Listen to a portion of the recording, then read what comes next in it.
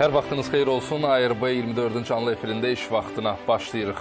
İstər ötən həftə sonu baş verən hadisələr, istərsə də bugün dünyada və Azərbaycanda gedən proseslər e, bizə kifayət qədər mövzu verib ki, efirdə bunu mütəxəssislərlə danışaq. Elə e, məsələlər ətrafında ətraflı düz saat 5-ə qədər söhbətləşəcəyik. Çalışırıq ki, hadisələrə dərhal reaksiya verək. E, elə mövzular var ki, onların təhlilə ehtiyacı var.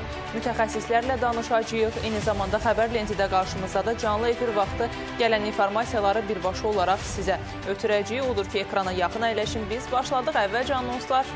Bugündən etibarən işğaldan azad edilmiş ərazilərə müntəzəm avtobus reyslərinə başlanılıb sərnişinlərin təəssüratlarını bölüşəcəyik. Azərbaycanda avtomobillərin parklanması müddəti 48 saata qədər uzadılır.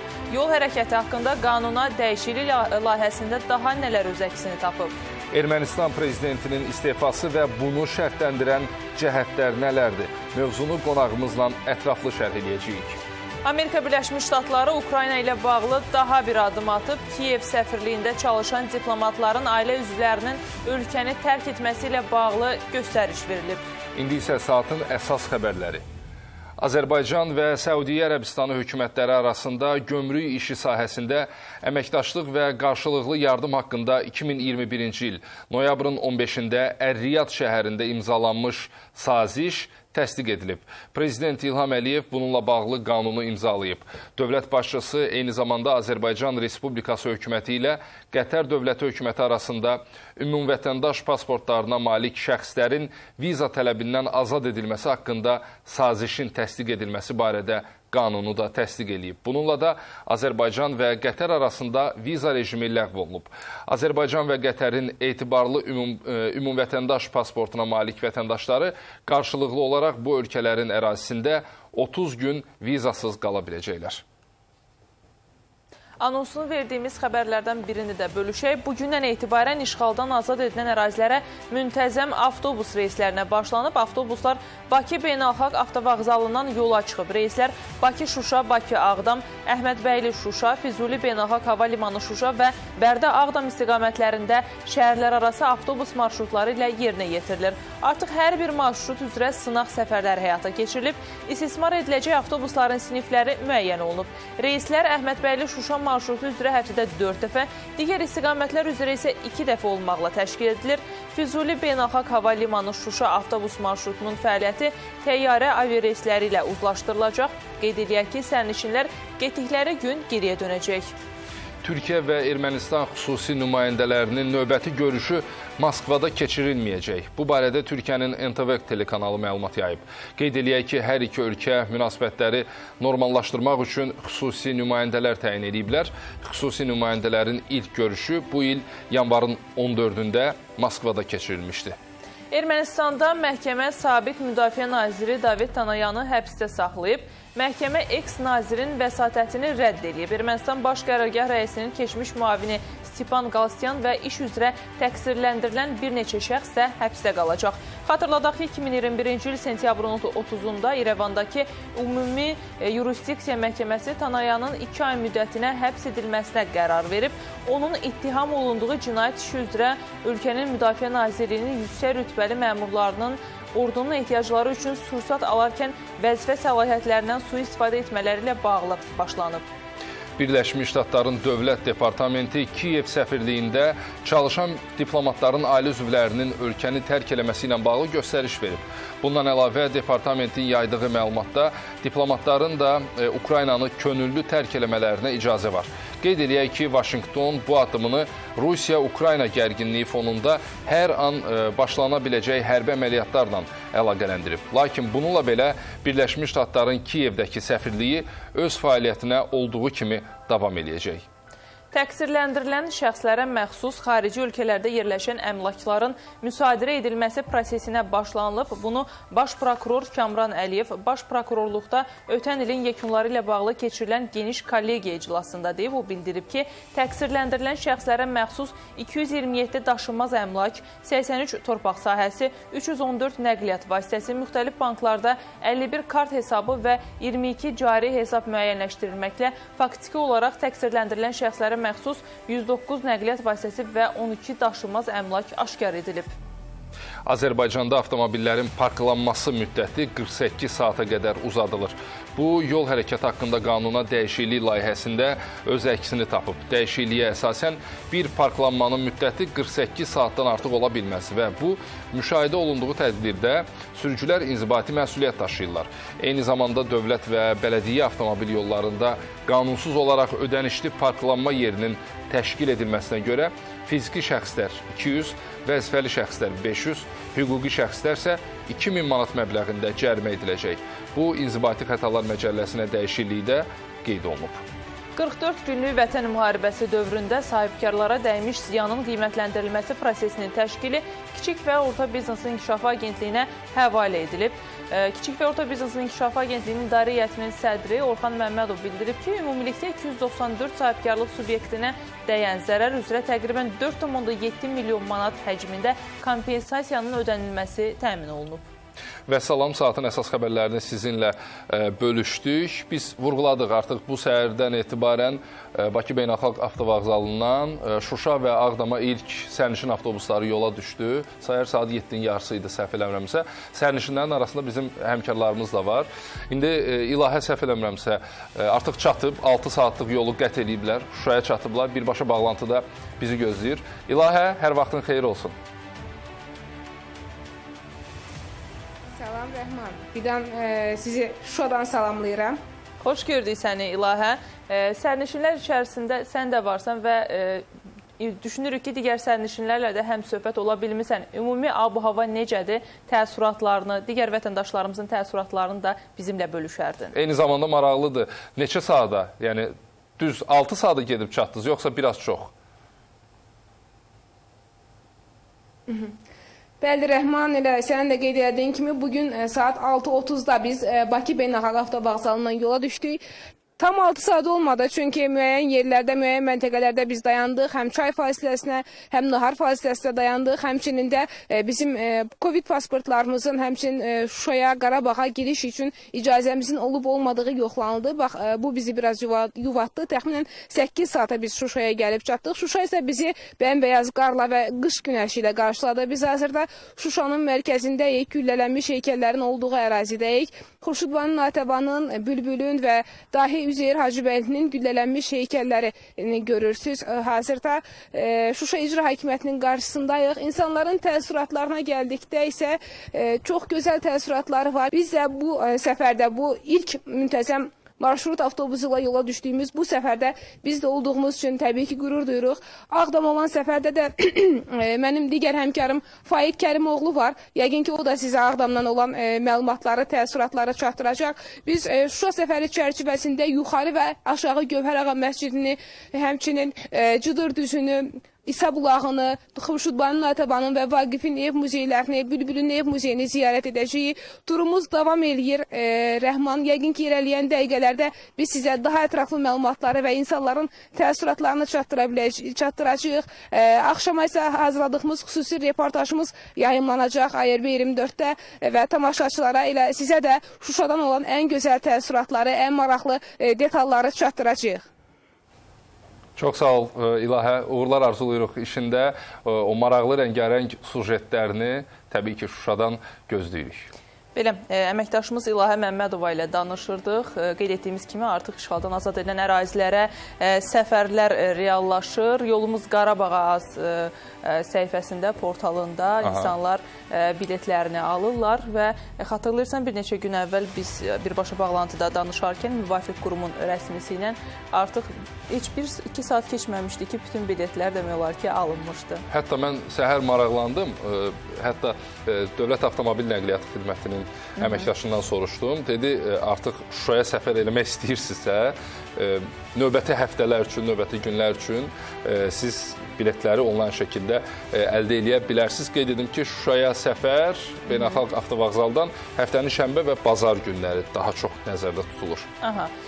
Biz bir neçə dəqiqədən sonra digər əməkdaşımız Faiq Kərimoğlu ilə birbaşa bağlantı yaradacağıq. Ağdamdan son məlumatları və Ağdama səfərdə baş verən hadisələri bizim diqqətimizə çatdıracaq. İş vaxtı proqramını izləyirsiniz. Deməli, bəzi xəbərlər var ki, onları bölüşək tamaşaçılarımızla. Məsəl üçün, bugündən Azərbaycanda koronavirusla bağlı immunitet sertifikatı yeni qayda ilə veriləcək. COVID-19 xəstəliyinə yoluxmuş şəxslərin sağalaraq immunitetə malik olmalarını təsdiq edən sertifikat şəxsin pozitiv PCR test nəticəsi tarixdən 7 gün sonra, yəni bu testin nəticəsindən 7 gün sonra veriləcək. Əvvəllər bu müddət 14 gün idi. Qeyd eləyək ki, bugündən eyni zamanda laboratoriya testinin nəticəsi pozitiv olan xəstələrin, həmçinin onlarla təmasda olan şəxslərin yaşayış yerində və ya olduğu yerdə təcrid olunma müddəti 14 gündən 7 günə azaldılıb. Bir digər xəbəri də bölüşmək istəyirik. Omikron ştamından qorunmaq üçün əsas diqqəti infeksiyanın ötürülməsinin qarşısını almağa və vaksinləmənin əhatə dairəsinin genişləndirilməsinə yönəltmək lazımdır. Bunu Dünya Səhiyyə Təşkilatının rəsmi nümayəndəsi Tarik Yazareviç bildirib. O deyib ki, omikron ştamının xəstəlik dövrü delta ştamına nisbətən daha yüngül keçsə də, xüsusən də peyvənd olunmamış şəxslər üçün bu ştam da təhlükəlidir. Dünya Səhiyyə Təşkilatının nümayəndəsi qeyd edib ki, booster dozanın olması müdafiəni gücləndirir. Vaksinlər əvvəlki kimi insanların ciddi xəstəliklərə, xəstəxana yerləşdirməsinə və ölməsinə qarşı yüksək effektivliyinə, effektivliyə malik olmaqda davam edirlər. Bu arada nəqliyyat vasitəsini yolun hərəkət e, hissəsinin müvafiq kənarından ikinci və sonraki cərgələrdə saxlayanlar cərimə ediləcəklər. Bu inzibati xətalar məcəlləsində dəyişikliklərdə öz əksini tapıb. Nəqliyyat vasitəsini hissəsinin yolun hərəkət hissəsinin müvafiq kənarından ikinci və sonrakı cərgələrdə qanunsuz olaraq səkilərdə, ha belə hərəkət hissələrinin kəsişməsində və kəsişən hərəkət hissəsinin kənarından 5 metr az yaxınlıqda hərəkət hissəsində dayanmasına və ya durmasına görə cərimə 40 manat müəyyən edilir. Koronavirusa qarşı peyvənd olunanların payı 86 ölkədə 40%-dən, 34 ölkədə isə 10%-dən azdır. Dünya Səhiyyə Təşkilatının baş direktoru Tedros Adhanom Ghebreyesus mətbuat konfransında bu barədə danışıb. Təşkilat rəhbəri 2022-ci ilin ortalarına dək bütün ölkələrdə 70%li peyvəndləmə hədəfinin hələ də uzaq ehtimal olduğunu diqqətə çatdırıb. Bu gün yerli jurnalistlər üçün müharibədən sonrakı reallıqlar və media mövzusunda təlim başlayıb. 3 gün müddətinə davam eləyəcək təlimi Xarici İşlər Nazirliyi, Müdafiə Nazirliyi və Beynəlxalq Münasibətlərin Təhlili Mərkəzi təşkil edib. Beynəlxalq Münasibətlərin Təhlili Mərkəzinin rəhbəri Fərid Şəfiyevin sözlərinə görə əsas diqqətimiz post-münaqişə dövründə cərəyan edən prosesləri təhlil eləmək, regionda baş verənləri müzakirə eləməkdir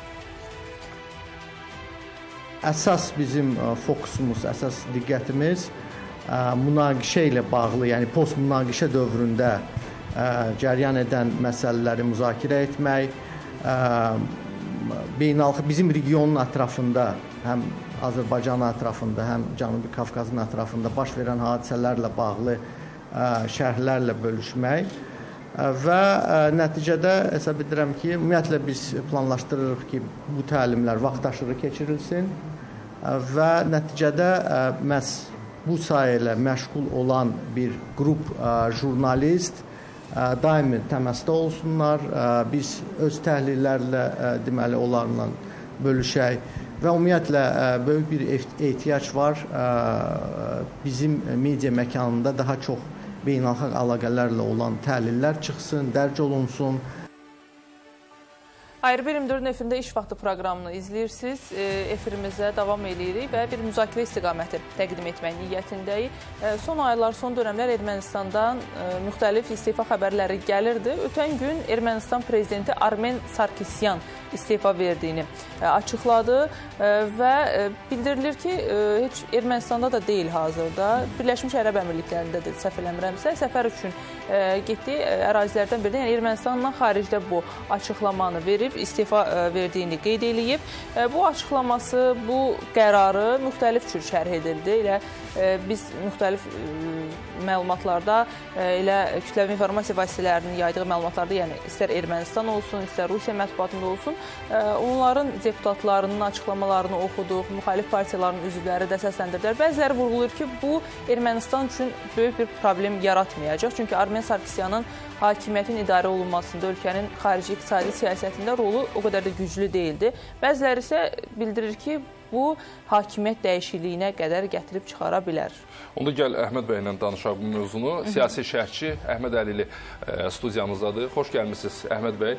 Deməli, e, bilmirəm, siz, siz e, Sarkisyanın istefası ilə bağlı siqnalları hiss eləyirdiniz, yoxsa yox? Düzdür, zaman-zaman Paşinyanla arasında müəyyən anlaşılmazlıqlar olurdu.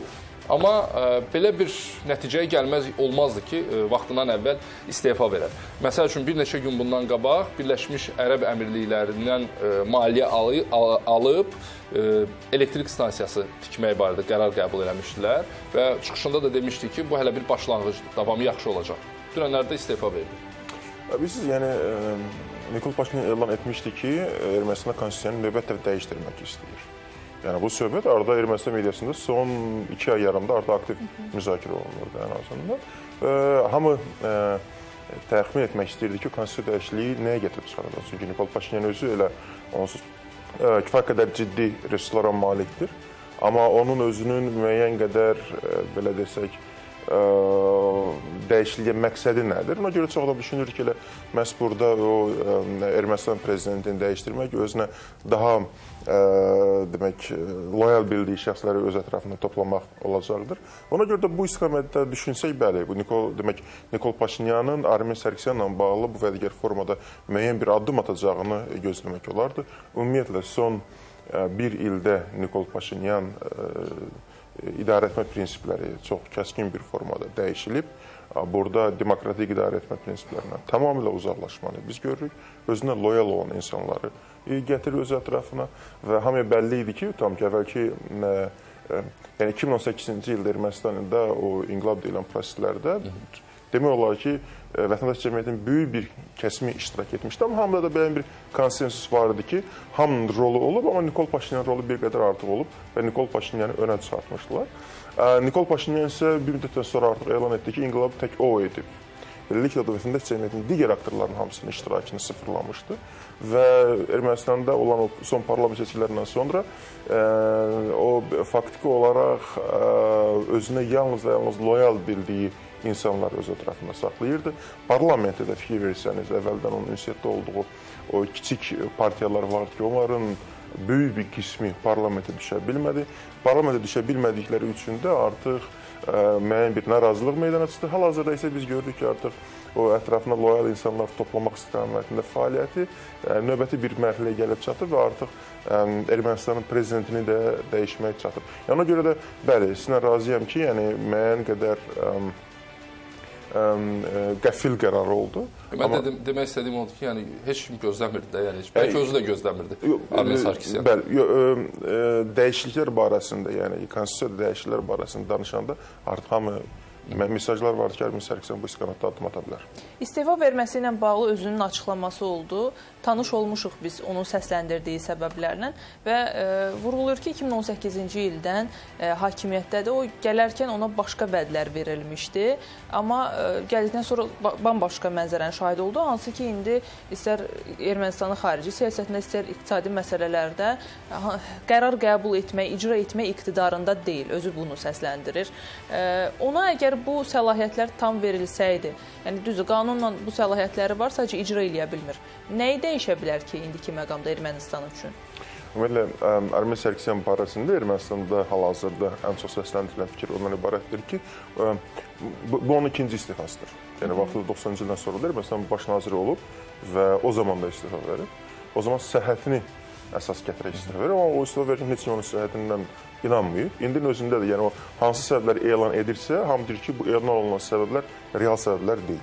Ona görə də onun elan etdiyi səbəblər və arxada olan səbəblər bu ayrı-ayrıdır və Armen Sərkisyan gələn problemləri hiss etmək iqtidarında olan bir siyasətçidir. O görür ki, proseslər onun istədiyi bir formada getmir. Böyük ehtimalla yaxın gələcəkdə ə, Nikol Paşinyan çox ciddi bir ə, addımlar ata bilər Hı və müəyyən bir tarixi məsuliyyət məsələsi ola bilər ortada. Hansı ciddi addımlardan söhbət gedir? Elə Ermənistanla Türkiyə münasibətlərinin normallaşması ilə bağlı, Azərbaycanla münasibətlərlə bağlı və Armen Sərkisyan bu kontekstdə çalışır ki, özünü geri çəksin. Ə, geri çəksin, sıradan müəyyən qədər çıxartsın və biz elə gördük Ermənistanda Kimisə təzyiqi ilə Zöhrəm Natsakanyan da gördünüz ki, proseslər bir qədər elə bir forma gəlib çatdı ki, Ermənistan keçmiş xaricilər naziri o da müəyyən yəni növbəti proseslərin hansı istiqamətə gedəcəyini görüb dərhal istifa verdi ki, müəyyən bir tarixi məsuliyyətdən ə, yayınsın. Yəni biz Ermənistanda ə, var Ermənistan xalqı, Ermənistan xalqının istəkləri, Ermənistan xalqının ehtiyacları və var diaspora. Diaspora etməlilər, onların ehtiyacları. Ermənistan özü öz e, iqtisadi e, demək bütövlüyünü qoruyub saxlamaq üçün mütləq ümumiyyətlə diasporadan müəyyən qədər ehtiyacı var. O maliyyə yardımı gəlsin, müəyyən bir iqtisadi formada onlara yardım gəlsin. E, ona görə də Ermənistan daxili gündəlikdə, Ermənistan xarici siyasəti bir çox hallarda o diaspora tərəfindən formalaşdırılır və ona görə də, yəni məsələn Nikol Paşinyan istəyir ki, Ermənistan daxilindəki olan insanlar üçün müəyyən qədər xoş bir ə, şərait yaradılsın, ə, iqtisadi şəraitləri normala düşsün, sosial ə, demək problemlərin sayı azalsın və bu baxımdan Azərbaycan və Türkiyə ilə münasibətlərdə ə, inkişafa nail olmaq istəyir. Diasporanın tələbi isə tamamilə ayrıdır və elə Manaçakanyan kimi, Armen Sərkisyan kimi siyasətçilər isə onlar daha çox diaspora ilə əlaqələrinin olmasından maraqlılar və onlar üçün diasporanın fikirləri daha maraqlıdır. Armen Sərkisyanın mülkünün 90%-i Ermənistandan kənardadır. Hal-hazırda məsələn Ermənistan parlamentində də bu dəqiqə müzakirələr gedir ki, əgər bu adam Ermənistanın prezidenti olubsa və mülkün 90% Ermənistandan kənarda saxlayıbsa, bu adam Ermənistana inanmayıb. Nəyə görə bu zamana kimi prezident olub, bu özü yoxlanılmalıdır hal-hazırda. Və ona görə yəni Armen Sərkisyanın Böyük Britaniyadakı demək ermənilərlə çox ciddi, ABŞ erməniləri ilə çox ciddi inteqrasiyasının olduğu bəllidir. Malının mülkünün böyük bir qismi Ermənistandan kənardadır. Ona görə də diasporaya belə bağlı olan bir insan gəlsin və Nikol Paşinyanın demək gündəliyi üzrə Ermənistanda yaşayan ermənilərin güzəranını demək yaxşılaşdırmaq istiqamətində müəyyən bir addıma dəstək versin bu mümkün deyil. Əhməd bəy, e, deməli özlərinin daxili işidir. Gəlin biz bizə təsir eləyən və ya təsir eləyə biləcək detalları danışaq. Elə e, münasibət bildirilir, sözlər razılaşdırılır, kağız üzərində razılaşdırılır e, regionda, ölkələr arasında sülhün bərqərar olması Ermənistanda nəsə baş verir.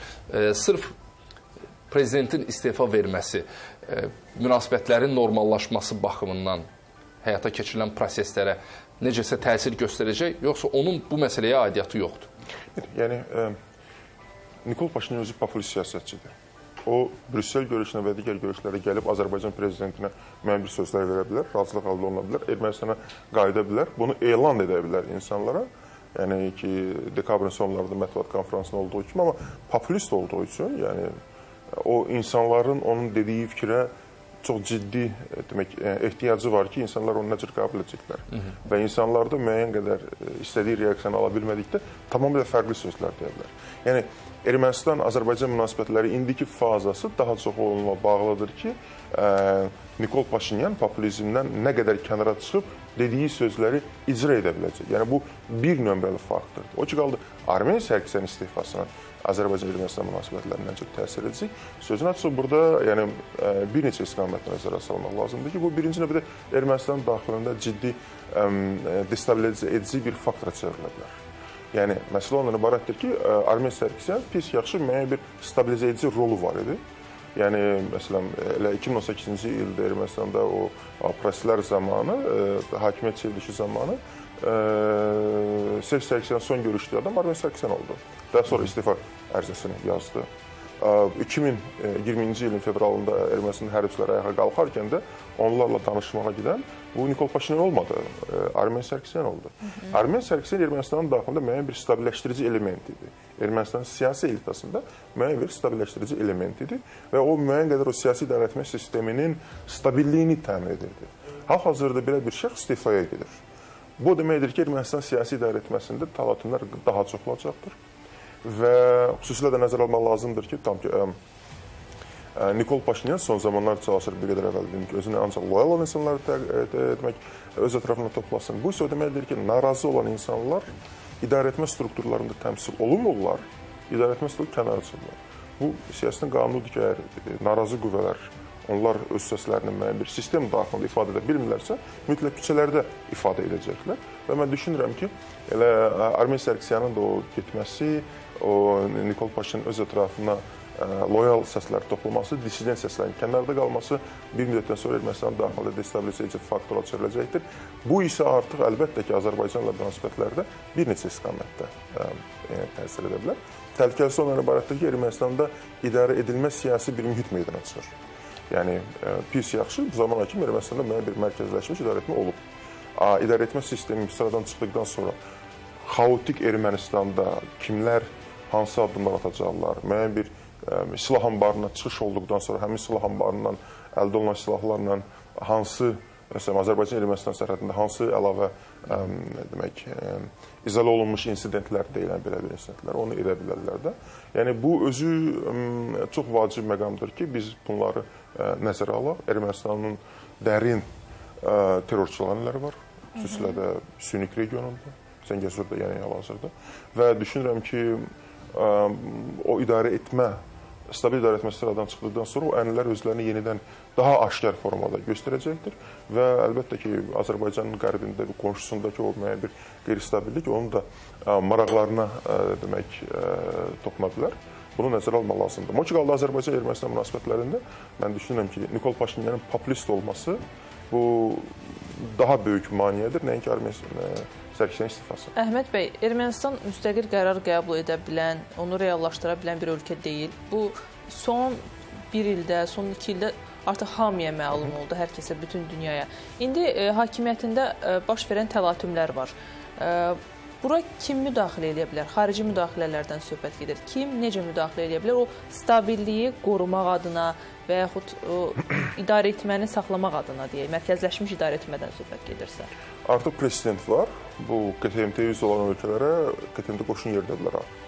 Biz daxildəki prosesləri qədər fərqli cür ad qoyub ə, KTMT ə, qoşunlarını ə, çağıra bilərsiniz. Ona görə düşünürəm ki, Ermənistanda əgər belə bir müdaxilə olacaqsa, bu mümkündür. Belə bir addım olması mümkündür, amma sözün açığı Ermənistan hal-hazırda daha çox iqtisadi müdaxilə ehtiyacı var.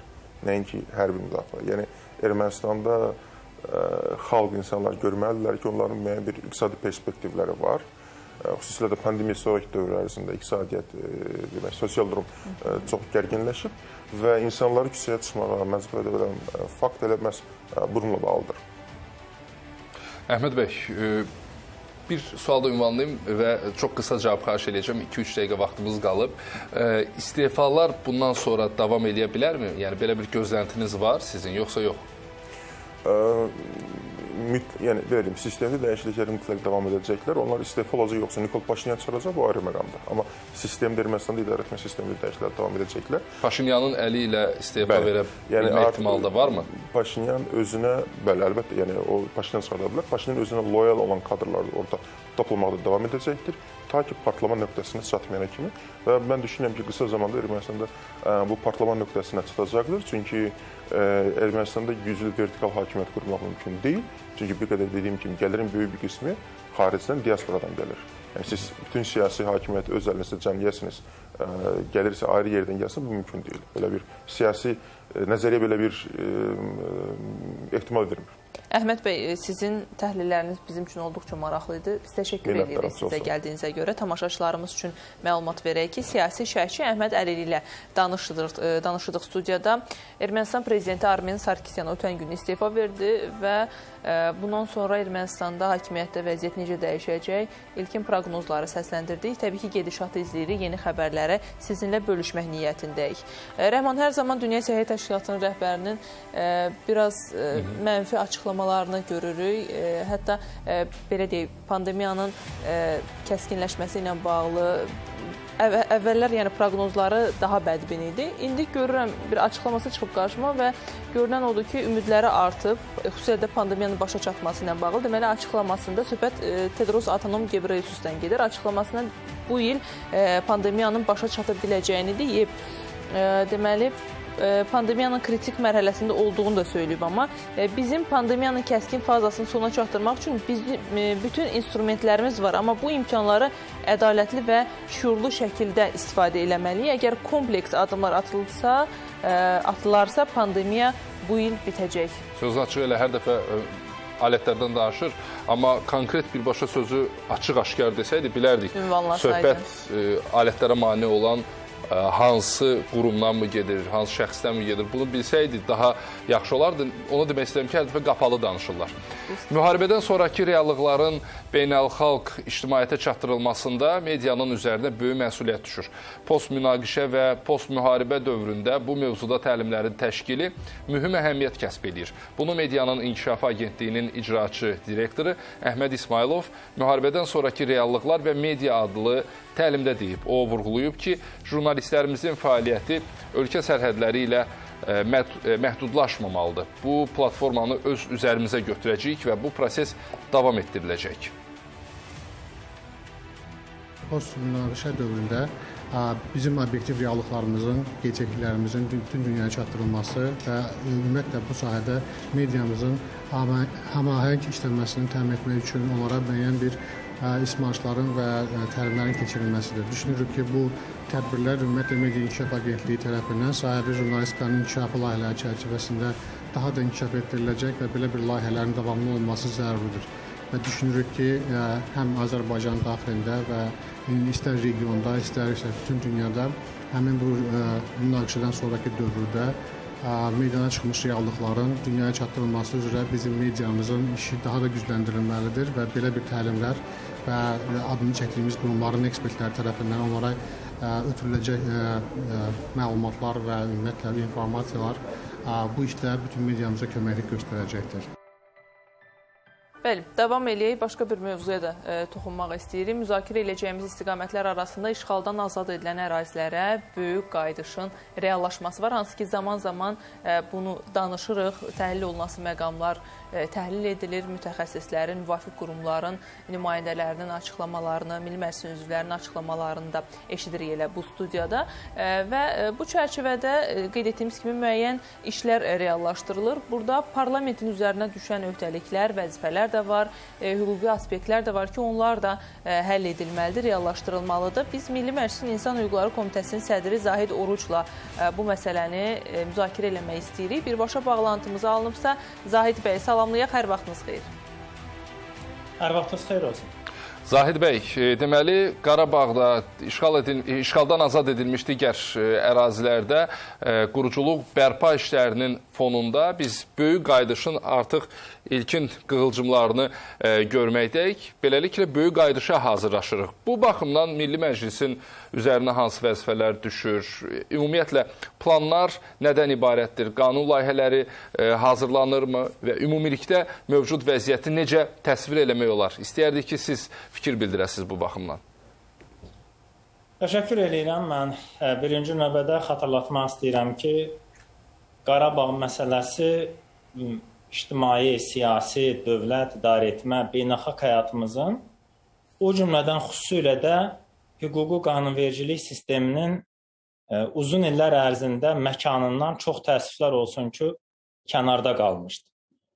Mən e, belə bir qədər də onu ağrı ilə bir e, formada xatırladırıq ki, keçmişdə qanunvericilik aktlarına, xüsusilə də beynəlxalq xarakterli konvensiyalara və yaxud da ki, ratifikasiya olunan digər sənədlərə xüsusi qeydlər qoyulurdu, xüsusi şərt müddalar əlavə olunur. Və biz hər zaman orada deyirdik ki, qarşı tərəf, o beynəlxalq qurum və ya konkret bir dövlət, ölkə bilsin ki, o məkanda Azərbaycan tərəfi məsələlərlə bağlı öhdəlikləri öz üzərinə götürmür, çünki bəlli bir işğal reallığı var. Şükürlər olsun ki, Vətən müharibəsində parlaq qələbəmiz Qarabağı həm də Qarabağ və ətraf əraziləri, azad olunmuş torpaqları indi artıq qeyd etdiyiniz o ilk e, quruculuq qığılcımları olan əsasları, fundamenti yaradan, yaradılan və təməli atılan o vətənin həm də hüquqi bir məkanımıza qayıdışı baş verir. İndi artıq bu istiqamətdə Milli Məclisin 2 il bundan əvvələ qədər ə, rəhbəri və ə, onun ə, hər bir üzvü əgər leksiyonunu, iş planını, fəaliyyət planını, əsas ə, hədəfləri işğal məsələlərinə kökləyirdilərsə, istənilən bir beynəlxalq toplantıda, tədbirdə, konfransda daha çox bu məsələlər vurğulanırdısa, indi e, leksion, arqumentlər, vurğulanan fikirlərin bazisi e, dəyişibdir. O cümlədən qeyd etdiyiniz hüquqi müstəvinin də formalaşdırılması. Bildiyiniz kimi möhtərəm cənab prezident tərəfindən vətən müharibəsi başa çatan kimi administrasiya rəhbəri hörmətli Sami Məmnuriyevin başçılığı ilə xüsusi bir əlaqələndirmə qərargahı formalaşdırılıbdır və burada 17 qrup ayrıca bu müddət ərzində ə, öz üzərlərinə düşən işləri yerinə yetirirlər. Onlardan biri də bir, bir e, miqyasda, bir platformalı işdə ə, bu hüquqi qanunvericilik işlərinin hazırlanmasıdır. Artıq bunlar müəyyən bir səviyyədə özünü göstərməkdədir. Yəni mən sizə deyə bilərəm ki, xatırlayırsınız, yəqin ki, sizin efirinizdən də o məsələ qoyulubdur. Bu minalarla, minaların təmizlənməsi ilə bağlı ölkəyə gətirilən xüsusi qurğuların, avadanlıqların gömrük rüsumlarından azad edilməsi ilə əlaqədar. O cümlədən vergi qanunvericiliyində də bənzər e, dəyişikliklər e, baş verməkdədir.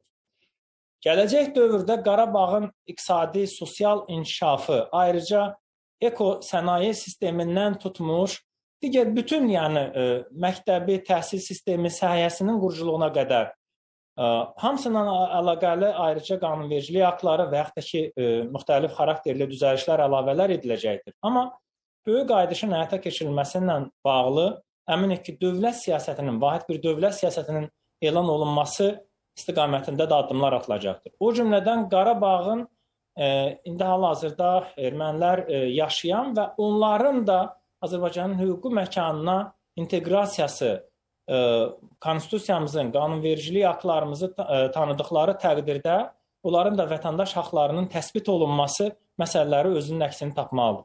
Mən çox yaxşı xatırlayıram, təxminən bir bir neçə ay bundan öncə sizin efirinizdə bu mövzuya e, yer ayırarkən siz ə, e, söhbətimiz o nöqtədə tamamlanmışdı ki, bu gün Ermənistan hələ də Qarabağa bu və ya digər formada yardımlarını davam elətdirir. Bu öz özlüyündə maliyyə separatizminin və yaxud maliyyə işğalını hansısa formada qoruyub saxlamaq anlamındadır. O cümlədən qaz xətti yenə də Ermənistandan gəlməkdədir. Əminəm ki, bu istiqamətdə də atılacaq addımlar ə, birdəfəlik Azərbaycanın bütün coğrafiyasında Kəlbəcərdən Zəngilana qədər, o cümlədən Qarabağın indi ə, yaşayış ə, olan ərazilərin hamısında və böyük qayıdışın gerçəkləşməsindən sonrakı məkanda vahid hüquqi bir sistem, e, yəni hüququn tamlığı, qanunvericilik sisteminin bütöv ölkə miqyasında, coğrafiyasında işləməsi, suverenliyimizin bütün ərazimizdə bərqərar olunması işi gerçəkləşəcəkdir. Ona görə də parlamentin üzərinə böyük vəzifələr düşür.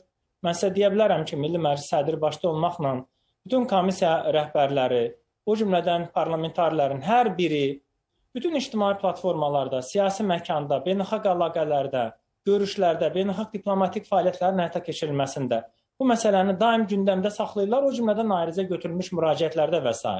Amma Milli Məclisin üzərinə düşən qarşıdakı dövrdə ən mühüm işlərdən biri Qarabağla bağlı qəbul ediləcək hüquqi aktlardır ki, bu istiqamətdə ilkin dediyimiz kimi işlər var. Bir qism e, layihələr artıq e, bu istiqamətdə razılaşma mərhələsindədir. Bir qisminə konkret nazirliklər rəy verəcəkdir və mən əminəm ki, sizi də e, sizinlə də bu məsələləri daha açıqlığı ilə konkret sənədlər ətrafında tanış eləyəcəyik, cəmiyyətimiz də bu barədə məlumatlandırılacaq. Biz o məlumatları səbirsizliklə gözləyirik və sizə təşəkkür edirik bugünkü bağlantıya görə tamaşaçılarımızın diqqətinə çatdırım. Milli Məclisin İnsan Hüquqları Komitəsinin sədri Zahid Orucla danışırdıq. Qarabağa böyük qayıdış çərçivəsində hansı layihələrin reallaşması gözlənilir? Ümumilikdə parlamentin üzərinə düşən vəzifələr nələrdir? Hüquqi aspektləri də çalışdıq ki, dəyərləndirək. Davam edirik. İşğaldan azad edilmiş ərazilərdə biznes qurmaq istəyən sahibkarlıq subyektlərindən Kobiyaya 945 müraciət daxil olub. Kiçik və Orta Biznesin İnkişafı Agentliyinin İdarə Heyətinin sədri Orxan Məmmədov mətbuat mətbuat konfransında bu barədə danışıb. Onun sözlərinə görə azad edilmiş ərazilərdə turizm, kənd təsərrüfatı və digər sahələrin inkişaf imkanları genişdir. İşğaldan azad edilmiş ərazilərdə, istər turizm sahəsində, istər kənd təsərrüfatında, istərsə də yeni ərazilərdə, digər iqtisadi fəaliyyət sahələrində kiçik və orta biznes subyektlərinin inkişafı, inkişaf imkanları e, daha genişdir. Biz bu amilləri nəzərə alaraq böyük qələbədən dərhal sonra sahibkarlıq subyektlərinin müraciətlərinin toplanmasına start vermişik. İşğaldan azad edilmiş ərazilərdə biznes qurmaq istəyən sahibkarlıq subyektlərinin müvafiq sahələr üzrə müraciətlərin qəbulu bu günə kimi davam edir. Nəticə olaraq son məlumata görə işğaldan azad edilmiş ərazilərdə biznes qurmaq istəyən sahibkarlardan Kobeyə 945 müraciət daxil olmuşdur. Bunlardan 446 müraciət investisiya layihələri, 499-u isə digər iş və xidmətlərin e, bunlar əsasən e, podrat əsaslı məsələlərdir, həyata keçirilməsi ilə bağlı olmuşdur. Müraciətlərin 27%-i e, tikinti işlərini, 27% ticarət və xidmət sahəsini, 21% sənayeni, 18% kənd təsərrüfatını və digər 7% turizm, səhiyyə, təhsil, mədəniyyət, nəqliyyat və logistika sahələrini əhatə etmişdir. Xəbəriniz olsun ki, İranın yol və şəhərsalma naziri Rüstəm Qaseminin rəhbərlik elədiyi nümayəndə heyəti e, birbaşa Azərbaycanın Füzuli şəhərinə gediblər, e, səfərdədirlər. Bunu Azərbaycanın İrandakı səfiri Əli Əlizadə öz Twitter səhifəsində yazıb. Maraqlı xəbərdir. Hı. Ötən il 4 milyondan çox pasiyent icbari tibbi sığorta çərçivəsində tibb müəssisələrinə müraciət edib. İcbari tibbi sığorta üzrə Dövlət Agentliyinin Marketinq və İctimaiyyət Əlaqələr Departamentinin rəhbəri Aynur Əhmədova bu barədə deyib. E, o bildirib ki, həmin şəxslərin müraciətlərinin sayı 10 milyondan çox olub. Ümumilikdə təbbin tabeliyindəki dövlət tibb müəssisələrində pasientlərə 22 milyondan çox tibbi xidmət göstərilmişdir. Xidmət göstərilən əhali qrupunun 77%-i 18 yaşından yuxarı əhali qrupunu əhatə edir, 23% isə uşaqlardır. Ekranda siz görürsünüz yanvar ayından dekabr ayına kimi, yəni bir il ərzində göstərilən 22 milyon tibbi xidmətin bölünməsini, aylar üzrə bölünməsi ilə tanış ola bilərsiniz və ən çox tibbi xidmət göstərən tibb müəssisələrinin siyahısı ilə də bu siyahıdan tanış ola bilərsiniz. Birinci yerdə Mingəçevir şəhər mərkəzi xəstəxanası dayanır. Yəqin ki, özünüz də ə, bu ad sizə təəccüblü gəlmədi. İcbari tibbi sığortanın həyata keçirildiyi pilot layihə şəklində həyata keçirildiyi 3 xəstəxanadan biridir və pilot layihədən sonra da əhaliyə ən çox tibbi xidmət göstərən tibb müəssisələrinin siyahısına demək olar ki, aylar ərzində də həmişə başçılıq edir. İkinci yerdə Gəncə Birləşmiş Xəstəxanasıdır. Sumqayıt Tibb Mərkəzi üçüncü yerdə qərarlaşıb. Dördüncü yerdə Xaçmaz rayon mərkəzi xəstəxanası dayanır. Beşinci yerdə Respublika Klinik Xəstəxanası. Altıncı yerdə Bakı Klinik Tibbi Mərkəzi, Yevlax rayon ə, mərkəzi xəstəxanası 7-ci yerdədir. Quba rayon mərkəzi xəstəxanası, Bakı 5 saylı şəhər klinikası, ə, onluğu isə Şəki rayon mərkəzi xəstəxanası bağlayır. Aynurə Əhmədovanın başqa bir açıqlaması da var. Daha 7 özəl xəstəxana vətəndaşlara pulsuz xidmət göstərəcək. Onun sözlərinə görə agentliyin müqavilə bağladığı tibb müəssisələrinin sayı 27-dən 34-ə yüksəlib. Təbdil tabeliyində ə, göstərilməsi mümkün olmayan tibbi xidmətlər üçün göndəriş vərəqəsi verilir. Agentlik 2021-ci il ərzində təbdil tabeliyində göstərilməyən tibbi xidmətlərin göstərilməsi üçün ə, 27 sayda dövlət özəl tibb müəssisəsi ilə müqavilə bağlamışdı. Bir il ərzində deməyək, bu statistika nəzərə alan ki, 11 ayı əhatə edir. Yanvar və noyabr ayları üzrə 19156 nəfərə özəl tibb müəssisəsində xidmət göstərilməsi üçün göndəriş vərəqəsi verilmişdir. Onların 541 nəfərini uşaqlar təşkil edir. Özəl tibb müəssisələrində ə, göstərilən tibbi xidmətlər üçün agentlik tərəfindən ə, 11 ay ərzində 24 milyon vəsait ödənilmişdir. Özəl tibb müəssisələrinin sayı ilə bağlı sizə bir məlumat verim ki, 2021-ci ildə bunların sayı ə, 27 idir. Hazırda isə yeni siyahını siz ə, ekrandan görə bilərsiniz. Onların sayı 34-ə çatdırılıbdır. Agentlik xidmətlər zərfinin tarifləri ilə e, işləyə biləcək və müqavilə bağlamağa maraqlı olan əhaliyə keyfiyyətli xidmətlər göstərməkdə maraqlı olan e, tibb müəssisələri ilə e, müqavilələrini imzalamaqda davam edir. Bu gün olan məlumata görə artıq 34-dür. Deməli biz e, bir mövzu var, o barədə həmişə danışmışıq. Sıravi insanlar da e, öz e, Facebook səhifələrində həmişə narahatlığını ifadə edib ki, bəs avtomobilimizi parklamaya icazə verilən yerdə saxlayırıq bu işə aidiyyəti olmayan şəxslər gəlir, maşını oradan çıxardanda pul istəyirlər. 30 qəpik, 40 qəpik və ya daha çox. E, sevindirici xəbər ondan ibarətdir ki, artıq bununla bağlı reydlərə başlanılıb. Çünki e, səhər tezdən müxtəlif qurumlar bu barədə başladılar açıqlamalar verməyə. Güman edirik ki, e, tariflər müəyyən edilənə qədər həmin o park yerləri ki, təşkil olunmamışdı. Orada əlavə heç kim dayanmayacaq və sürücülərdən pul almayacaq. Məsələnin məğzi nədən ibarətdir? Bizə daha ətraflı həmkarımız Nərmin Kərim danışacaq. Nərmin, buyur, söz səndədir. Hər vaxtın xeyir olsun Rəhman, hər vaxtın xeyir olsun Fidan. Bəli, qeyd elədiyiniz kimi bu gündən Bakı şəhər Dövlət Yol Polisi İdarəsi e, şəhərdə e, belə deyək, e, ərazilərin parklanma üçün qanunsuz zəbt olunması ilə bağlı reydlərə başlayıb. Deyim ki, e, son zamanlar bu hallara tez-tez rast gəlinir və e, sürücülərin çox saylı müraciəti var Bakı şəhər Dövlət Yol Polisi İdarəsinə ki, belə hallar var və onlardan qanunsuz şəkildə pul alınır və Bakı şəhər Dövlət Yol Polisi İdarəsi bu halların qarşısının alınması üçün artıq səhər saatlarında saatlarından başlayaraq reydlərə başlayıb. İstəyirəm daha ətraflı məlumat alaq və idarənin bölmə rəisi Vaqif müəllim hazırda bizimlə e, canlı bağlantıdadır. Xoş gördük sizi Vaqif müəllim. Xoş gördük. Təşəkkür edirəm. Sağ olun ki, təbliğat xarakterli verilişlərin keçilməsində dəstək göstərirsiniz. Təbii ki, bu gün Bakı şəhərinin inzibati ərazisi bütün polis əməkdaşları tərəfindən nəzarətə götürülməklə xidmət təşkil edilib. Hal-hazırda Səbail rayon Dövlət Yol Polis şöbəsinin rəhbərliyi və bütün əməkdaşları Bakı şəhər Dövlət Yol Polisinin əməkdaşları ilə birgə bütün ərazidə dayanma, durma və parklanma tələblərini düzgün yerinə yetirməyən, eləcə də qeyri-qanuni parkovşik kimi xidmət göstərən, fəaliyyət göstərən şəxslər, şəxsləri aşkarladıqsa, tənbih tədbirləri görür. Sözsüz ki, sizin iştirakınızla hal-hazırda əraziyə baxış keçirərkən açıq-aşkar görünür ki, Səbail rayon Dövlət Yol Polis şöbəsinin əməkdaşları artıq son iki gündə bu kimi nöqsanların aradan qaldırılmasını təmin ediblər. Təbii ki, bu faktlar tərəfimizdən aşkar olunduqsa barələrində tənbih tədbirləri tərəfimizdən daim görüləcək. Verdiyiniz fürsətdən istifadə edib bir daha ərazini qeyri-qanuni zəbt edən Parkovşik kimi tanınan şəxslərə müraciət edirik və xahiş edirik ki, bu tələbləri yerinə yetirərkən qanunun aliliyini düşünsünlər və unutmasınlar ki, qanun müzakirə edilmədən yerinə yetirilməlidir. Hər halda təhlükəsizliyin təmin edilməsində ən prioritet məsələlərdən də biri nəqliyyat vasitələrinin dayanmasına, durmasına və ya düzgün park edilməsinə xüsusilə diqqət yetirilməlidir və bu proses düzgün həll olunmalıdır. Əks halda yarana bilən süni sıxılıqlar və ya piyadaların belə vurulması məhz belə faktların hesabına baş verir. Vaqif müəllim, e, reydlər keçinərkən nə qədər belə fakt aşkarlandı? Ümumiyyətlə sadəcə xəbərdarlıq mı olunur, yoxsa cəriməsi də mi var bunun? Sözsüz ki, tərəfimizdən xəbərdarlıq etməklə bəzi dırnaqarası işbazların özlərinin könüllü bu işdən əl çəkməsinin şahidi olduq. Ancaq bu gündə Bakı şəhər üzrə təxminən 40-a yaxın Parkovşik kimi tanınan şəxs aşkarlandı və onlar barəsində tədbirlərin görülməsi üçün polis bölmələrinə, polis idarələrinə təhvil verildi. Çox təşəkkür edirik ətraflı məlumat üçün.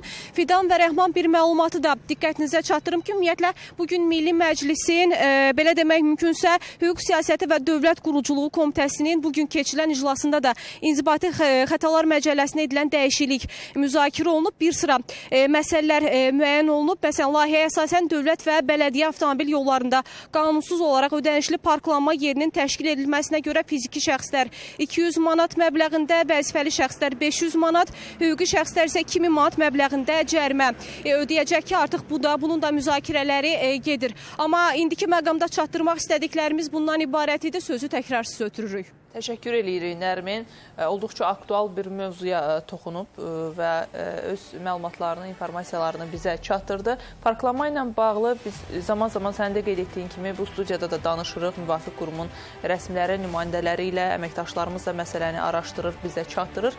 Bir xəbəri bölüşmüşdük, bilmirəm xatırlayırsan yoxsa yox. Bakı Nəqliyyat Agentliyi parklanmanın idarə olunması ilə bağlı yeni bir pilot layihəyə də artıq start verib. Və müəyyən ərazi var ki, orada sırf piyada yönümlülüyün artırılması, müasir şəkildə parklanmanın qurulması işlərini icra eləyəcəklər. Bu xəbərləri görəndə sevinirik, çünki vətəndaşlar çox vaxt şikayət edirlər ki, parklanma yerləri azdır və yaxud doğru qurulmayıb və bunun nəticəsidir ki, qanunsuz parkinq yerlərində biz şahid oluruq, amma indi onun da aradan qaldırıldığını müşahidə eləyəcək. Artıq polis reydlərə başlayır. Xəbərləri eşidəndə sevinirik, amma o xəbərlər reallığa çevriləndə iki qat pilot sevin, layihə sevinirik. dilimizdə. Pilot da bir nəyinsə böyük bir layihənin başlanğıcıdır əlbəttə. Amma o parklanma ilə daha doğrusu qanunsuz parkovşiklərlə bağlı, indi onun belə bir ad formalaşıb Azərbaycanda. Onlarla bağlı problem təkcə Bakıda deyil, Azərbaycanın digər iri şəhərlərində də əgər səfər edirsənsə müxtəlif dövrlərdə görə bilərsən ki, eyni parkovşiklər e, orada da mövcuddur. Bəzi daha çox oxşar, oxşarlıqları var onların bir-birinə e, fizioloji baxımdan, bəli. İndi yəqin ki, orada da müvafiq işlər icra edilər, sən dediyin kimi. Biz, Deməli, e, Ağdama, Ağdama, Ağdama birbaşa bağlantı, birbaşa bağlantı eləyək. Çünki həmkarımız Faiq Kərimoğlu oradadır. Bu gün səhər, səhər saat 7-nin yarısı sərnişinlərlə e, Ağdam avtobusunda hərəkət edənlərdən biri də məhz Faiqdir. Hər vaxtın xeyir olsun.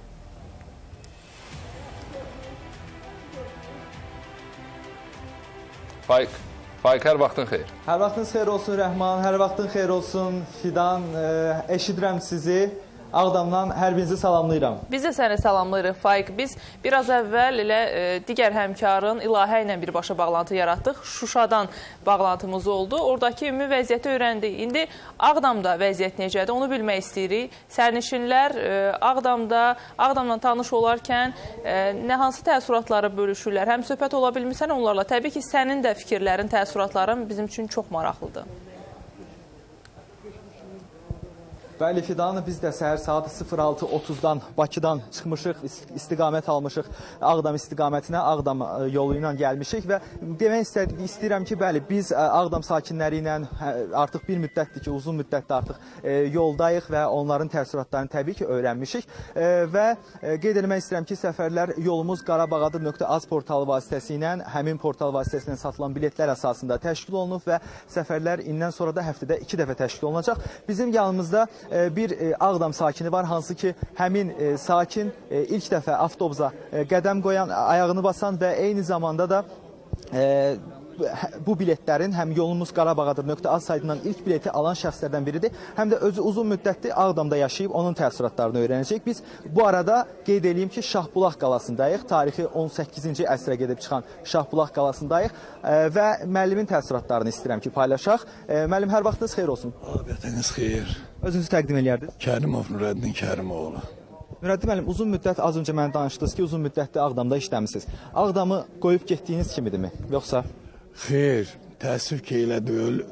Əvvəl onu deyim ki, bugün çox gözəl bir gündür. Gözəl bir gündür ona görə ki, 28 ildir qəlbimizdə saxladığımız, daimi fikrimizdə olan, görmək istədiyimiz Ağdama gəlmişik. Təəssüflər olsun ki, Ağdamı da heç bir şey görə bilmədik. Hə, bunun da eybisi yoxdur. Biz ondan gözəlini də quracağıq. Deməli, dəmir yumruğu başlarına vura-vura iti qovan kimi qovdular getdi. Hal-hazırda quruculuq işləri gedir. Doğrudan mən çox təsirləndim, çox xoşuma gəldi. Mən inanıram ki, qısa müddətdə Ağdam əvvəlkindən də gözəl bir şəhər olacaq. Ağdamın kəndləri əvvəlkindən də gözəl bir kənd olacaq. Bu möhtərəm prezidentimizin rəhbərliyi altında quruculuq işləri e, surətinə gedir. Biz dediyiniz kimi hal-hazırda Şahbulaq qalasındayıq. Həqiqətən də bu saatda tüylərim tikən-tikəndir. 29 il əvvəl olmuşdunuzmu burada? 29 il əvvəl olmuşdum, bəli. Hə, çox gözəl təsir bağışladı.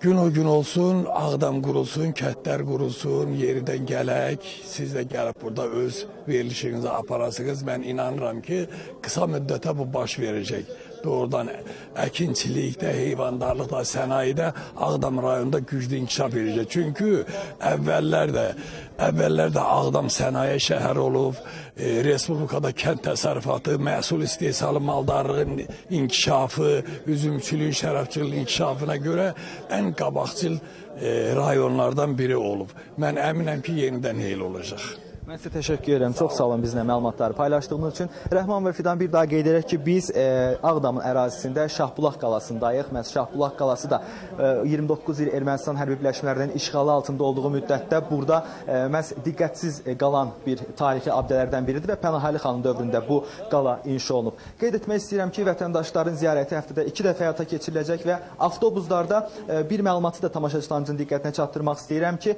e, məhz minalı ərazi olduğu üçün bu ərazilər tam olaraq minalardan təmizlənmədiyi üçün e, minalı ərazilər olduğu üçün e, buna görə də məhz vətəndaşların e, maarifləndirilməsi həyata keçirildi. Avtobuslarda xüsusi video roliklər vasitəsilə məhz mina təhlükəsi barədə məlumatlar verilirdi. Bizdən bu qədər. Faiq, biz sənə çox təşəkkür edirik bu bağlantıya görə. Əməkdaşımız Faiq Kərimoğlu ilə danışdıq. Ağdamdan canlı bağlantı yaratmışdıq. Olduqca pozitiv bir bağlantı idi. Görünən odur ki, Ağdam sakinləri, bütün digər vətəndaşlarımız da çox ümidlidirlər. Gözləntilərimiz böyükdür hər birimizin. Və salam elə onda birinci saatı bu xoş təəssüratlarla yekunlaşdıraq. Bir neçə dəqiqədən sonra ən son e, xəbərləri izləyəcəksiniz ARB 24-də, ardınca qayıdırıq studiyaya. Hələlik.